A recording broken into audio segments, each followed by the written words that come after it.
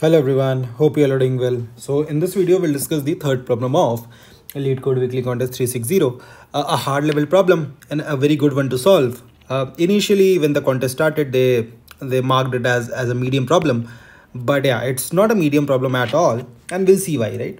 So the problem name is minimum operations to form subsequence with target sum, okay? So the problem statement says that you are given a zero indexed array nums consisting of non-negative powers of 2 and an integer target. Okay? In one operation you must apply the following changes to the array. What are those changes? Choose any element of the array uh, that is choose nums of i such that that value is greater than 1 okay? Remove nums of i from the array and add two occurrences of nums of i by 2 to the end of nums right? Basically if you have 2 raised to x which is greater than 1 so remove it from the array and add 2 raised to x minus 1 and 2 raised to x minus 1 in the array. Ultimately, the sum will not change, okay? It's just that you have split one element into two halves, okay? Return the minimum number of operations you need to perform so that nums contains a subsequence whose elements sum to a given target, right? If it is impossible to obtain such a subsequence, return minus 1. What is a subsequence? A subsequence is an array that can be derived from another array by deleting some or no elements without changing the order of the elements, right? So let's see, let's take the first example. The elements I have is 1, 2, 8. The target that I want is 7, okay? Now, is it possible to choose a subsequence uh, such that if I add all the elements of the subsequence, I get 7? So right now, if you see, there is uh, no possibility, right? So what do I need to do in this case? Let's divide this. Okay. If I divide this, what do I get? I get 1, 2, this 1, this 2. And here I get 4 and 4. Now is it possible to choose a subsequence with sum equals to 7? Yes. You choose 1, 2 and 4. So you will get a 7 of, uh, you, you will get a sum of 7 and hence we did the operation only one time, right? The splitting operation is something uh, that, that is done one time, right? So my answer is 1. Okay. Now, one more thing to note here is it says subsequence, right? So a subsequence is, suppose you have some elements, right?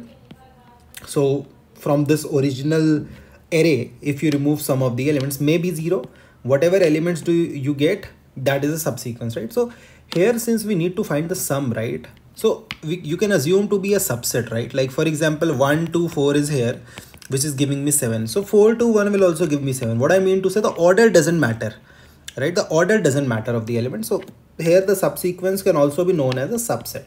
Okay this is just one point to note. Second thing i want to form a target right? I want to form a target right? Now as i told you suppose we have 2 raised to x in the array. We are splitting it into 2 raised to x minus 1 2 raised to x minus 1 that means the overall sum is not changing right? That means you had 8 you split into 4 and 4 so overall sum is not changing. Yes the number of elements uh, may increase in the array right so I want to form the sum. However, if the sum of all the elements in the array, right, in the original array, if that is, right, that is less than the target. What do we mean by this? In this case, sum of the elements is 1, 2, 8, that comes out to be 11, right? So all the elements that I have, they are capable of giving you a maximum value of 11. But someone says that you have to form a target of 12, right? So it is not possible to form a target, right? It's not possible to form a target. The total the, the total sum is x and you want to form a number y where y is greater than x. So in that case target cannot be formed. So you can directly return minus 1 in that case right? This is an, this is the uh, i would say uh, a case which which you can uh, take care separately and then only uh, you can solve the right you can write the core logic right? So if sum is less than target you can return minus 1 not able to form.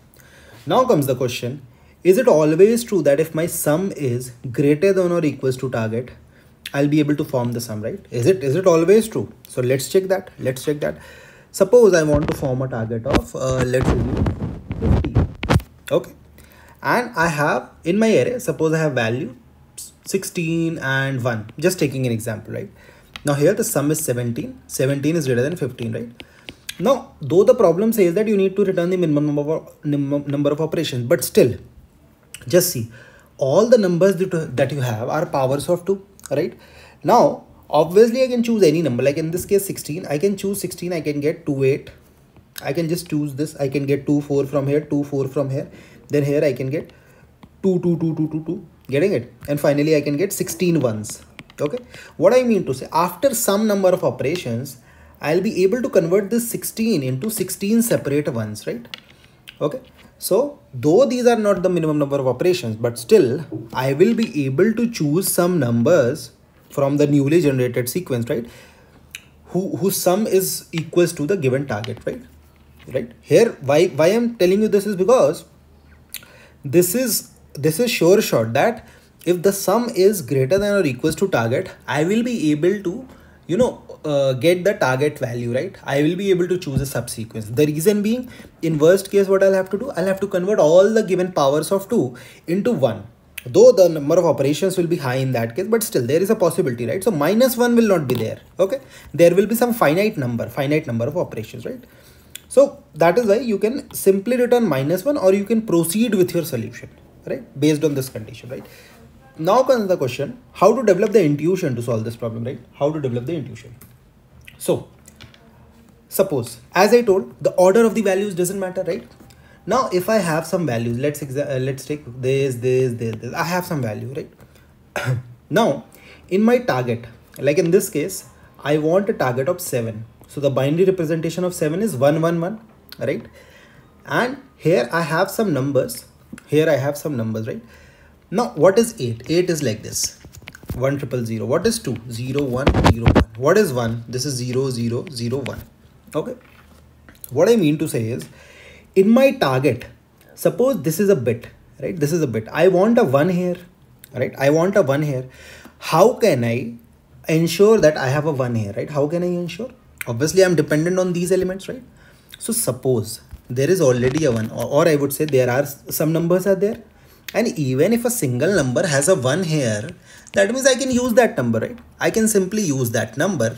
I can simply use that number to basically remove this one, right? I mean, this particular number, whatever it is, like this is 1, right? This 1 can, uh, can be helpful in removing this one, right? So now my target will decrease. Now I want to form a 6, right? Now remember, every number, since every number is a power of 2, so every number will have only one bit set, right? Will have only one bit set. So what I mean to say, at every position, you just try to find the count of bits, right? Like for at this how many numbers uh, have one at this position, how many numbers have one at this position, how many numbers have one, and so on. All right. First thing is this. For remove uh, moving from left to right or right to left is totally different, but this is the first thing you need to find out. Reason being, I want to if I if, if I need a one in the target, I will use that frequency array to find that do I have a 1 there. If I have a 1 there, yes, I'm sorted. This position is sorted. You don't need to do any division, any division to get a 1 here, right? So take bit by bit, right? Take by bit by bit, right? Now, the second thing, the second thing, I have, I have some bit positions, right?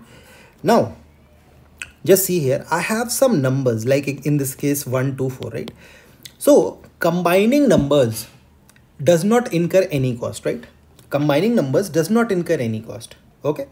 So however however on the other hand if i take a large number and i divide it that takes cost right? That that in that i'll have to do some operations right?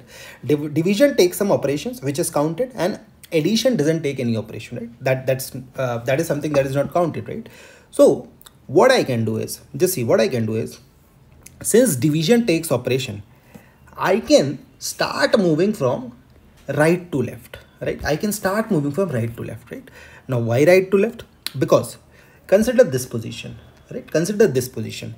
This position can be formed right? If i already have a one here in the frequency array great. This position can be formed.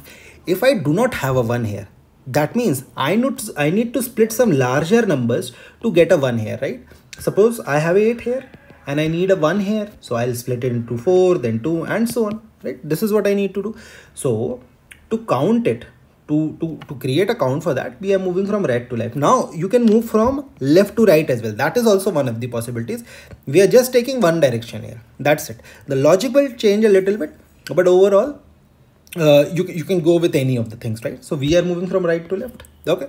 So now what we will do is suppose we are at a particular bit position right? Let me yeah let me come here I'll take this example because this is a good example. So I have 1, 1, 2 and 32. Let's take frequency here 1, 2, 3, 4, 5, 6. Forget about the other positions, okay? Bit number 0, 1, 2, 3, 4 and 5, right? How many numbers, these are the four numbers I have. How many numbers, uh, right? Or, or in other words, what's the power? This is 1. This is 2 raised to 0. One number is there with 2 raised to 0. This is again 1 two numbers are there with 2 raised to 0 or two numbers are there whose 0th bit is set. This is 2 raised to 1 this is 2 raised to 5 okay? This is the frequency array that looks like right? That that this this is how the frequency array looks like right? I want to form a target of 12 what is 12 1 2 3 4 this is 0 1 2 3 these are the bit positions right?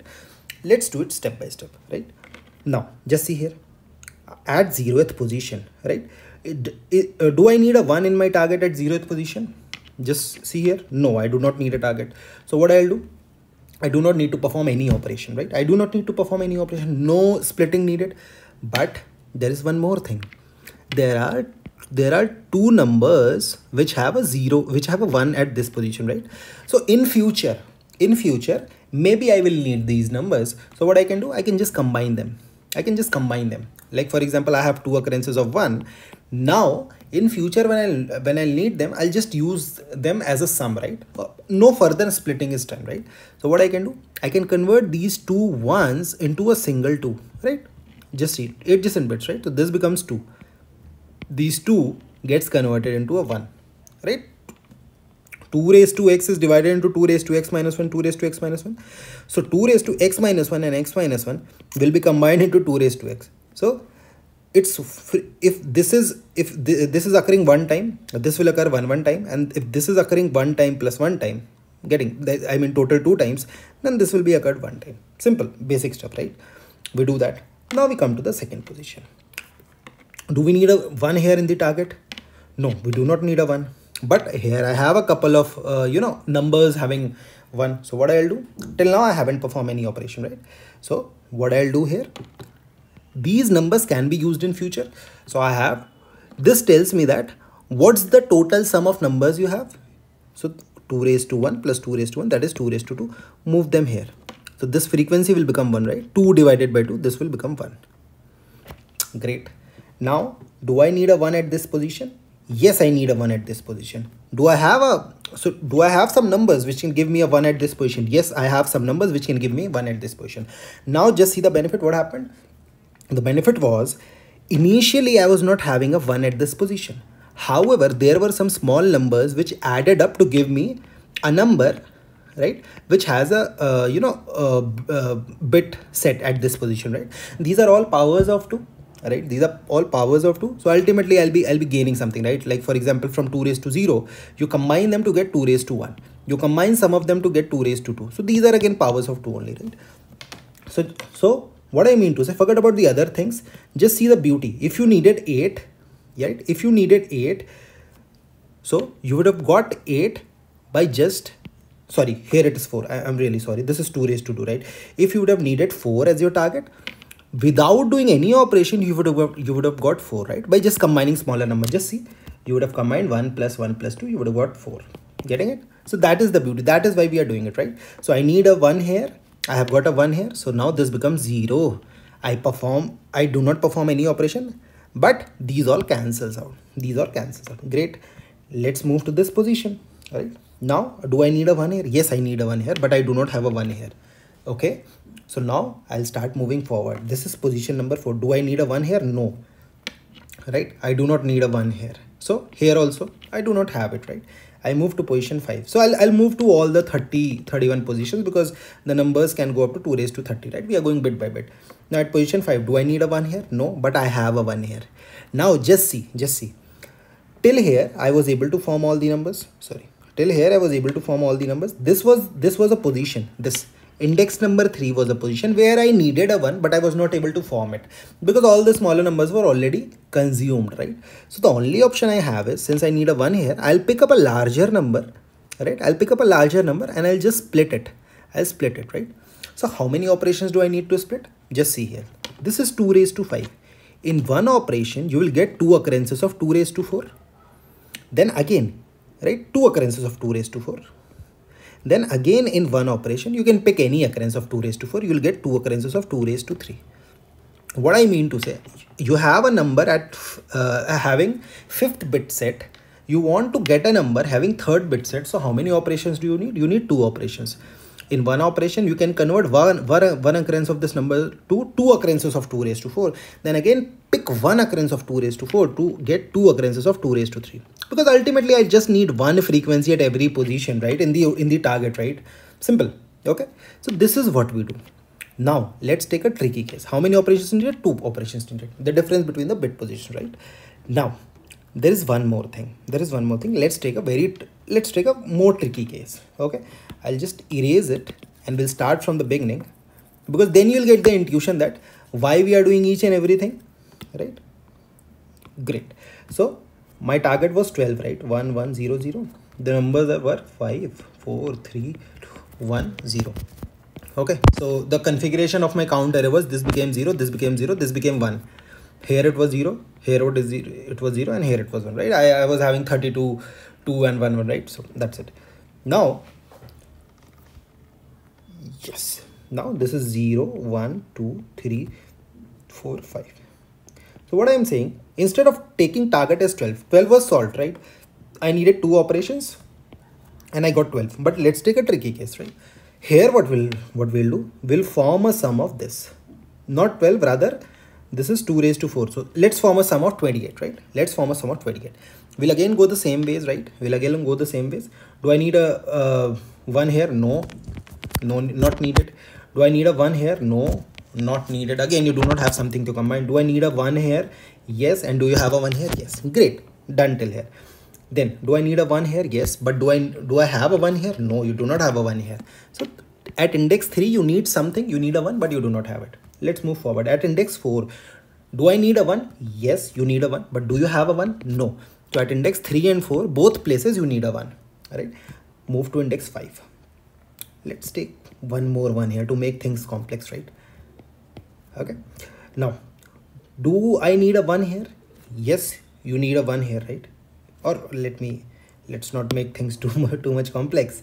Let's try to keep it easy only okay? So at index 5 do you need a 1 no i do not need a 1 but i have a i have a 1 here. Now what happens is when i come here na, when i come here i just see that i have a 1 here. I do not need that one right? I do not need that one i rather need a 1 at 3 position at at 4 position right so what i'll do what are the number of operations to get 1 here and 1 here just see as I told you in the previous case, you can take one occurrence of 2 raised to 5. In one operation, you can get two occurrences of 2 raised to 4. Then in the second operation, you can choose any one occurrence of 2 raised to 4 to get two occurrences of 2 raised to 3. So what is happening here? Just see. In two operations, you are able to fulfill this position as well as this position. Getting it? Ultimately, whatever is the rightmost position where I need a 1 which has not been fulfilled okay? And I have a 1 at a particular position which is not needed or maybe I have more frequencies right? So whatever is the difference in indices between these two that those are the number of operations I, I need to satisfy you know condition of all the numbers between them right? For example if I have a bit at position 6 okay. And I need a bit at position 2 0 1 2 3 4 5 right? I need a 1 here. All at every these positions suppose i need one one one every position. But i did not had a one. I only had a one here. So what i'll do i will break this into 2 raised to 5 one occurrence is broken into 2 raised to 4 one occurrence is broken into 2 raised to 3 2 raised to 2 and so on right? So what happens? In 1 2 3 4 5 operations you are able to fulfill all the positions which are between them. Getting it? This is how we do the things right? This is how we do the things. At every position we just check do we need the do we need a bit if needed and if it is there well and good if it is not there just keep a track of that index right? Keep a track of rightmost index right?